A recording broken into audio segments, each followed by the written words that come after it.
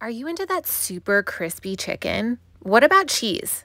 I think Q Bistro might be the place for you. Q Bistro is located in the heart of Vegas, and I just Google mapped it. It's about 12 minutes from the strip. They have the crispiest chicken I have ever had. This is KFC. It's Korean fried chicken. And if you've never had it, you definitely need to try it from here. The owner actually flies to Korea to perfect this recipe. Okay, so once you order your chicken, you can choose the sauce to go with it, or you can just have plain chicken. This is their soy garlic, and then next to it is the mild. And if you want to take it up a notch, I highly recommend you get the cheese to go with it. And I just love that you can have your own melted cheese as an option. I don't necessarily know if this is authentic. I don't think it is, but whoever came up with this is a genius because that bite is phenomenal. And since you're here getting the cheese, you might as well get the cheese with the corn too. Q Bistro is open till 1.30 in the morning on most nights and 2.30 in the morning on Friday and Saturday. So you can get this anytime. It's a great spot after work or even for a late night snack. Let me know if you end up going.